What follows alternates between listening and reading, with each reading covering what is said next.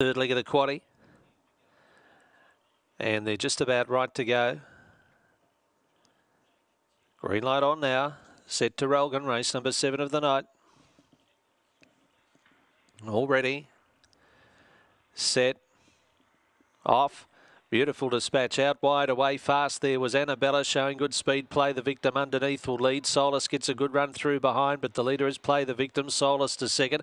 Annabella stays in third spot now. Alvarez Bale behind those Grant's Treasure. Then Dr Kelly. Further back there was My Juanita ahead of runners towards the turn. Grant's Treasure 2 with Michael Jack but turning and play the victim got through on the inside of Solus shot away and play the victim goes into score. Solus second third in goes to Alvarez Bale fourth home My Juanita Further back then we had Dr. Kelly, also Michael, Jack Grant's Treasure and Annabella dropped out.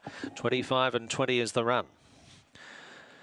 Well, there are only two really backed in the races as, far as firmers were concerned and they've run one, two, but the longer priced of them is one here. That's number two, Play the Victim for Deborah Brandon at about 370 in money back. Solus 122nd and Alvarez Bale into third. Should pay about $3.10. Numbers Traralgon 2716. 2716 on the 7th.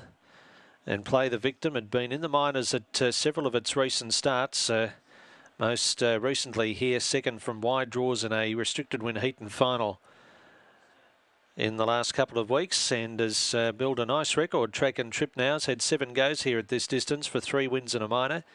And is a Black Dog May 21 by Heartstyle Rico out of Dinah Quota for the two Brando.